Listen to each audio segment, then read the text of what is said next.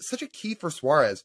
Outside of that broken finger toward the end of the year, which was just kind of a freak injury, the dude is always available. He played 142 out of 143 games before he suffered that broken index finger. That is such a huge asset to have when you have guys that are going to be on the field and healthy. That durability is especially valuable after realizing what you lost with Kyle Seager, a guy who was in the lineup every single day for the Mariners for an entire decade. And you have Seager in 2021, and the Mariners choose not to pick up his option, and you have all this outcry for bringing Seager back. Why not you bring him back? Well, he ended up retiring anyways.